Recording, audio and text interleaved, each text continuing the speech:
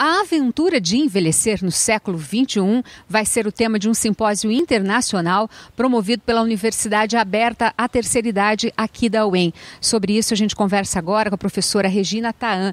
Professor, qual é o objetivo desse evento que é tão importante, né?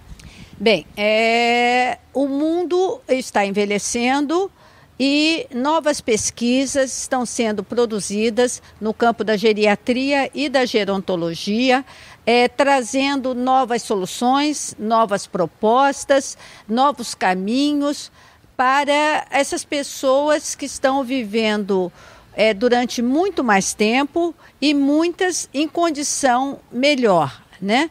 Então, essa produção científica tem que ser socializada, tem que ser comunicada. Estamos numa universidade, é esse o papel da universidade, e a essa produção científica devem ter acesso não só os pesquisadores da área, mas a população que é diretamente interessada, que são as pessoas idosas. E esse é o propósito do simpósio. Quem pode participar?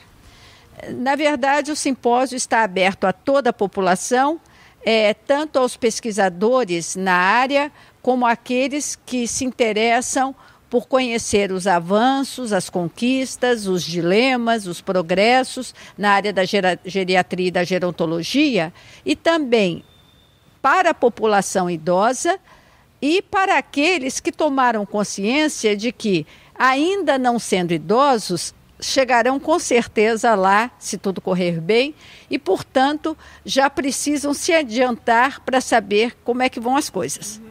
E participando desse simpósio, né, vão conseguir discutir mais coisas ainda, né? Gostaria que a senhora falasse sobre a data desse evento, o período de inscrições.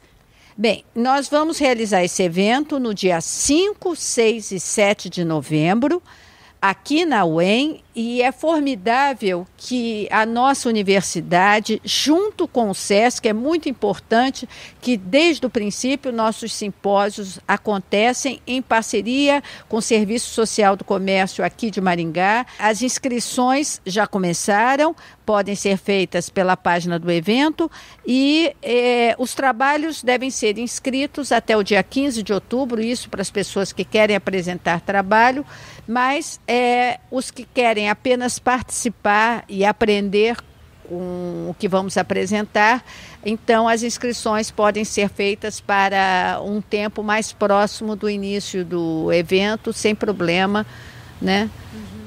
Tá certo. Muito obrigada pelas informações. Edi Oliveira para a TV UEM.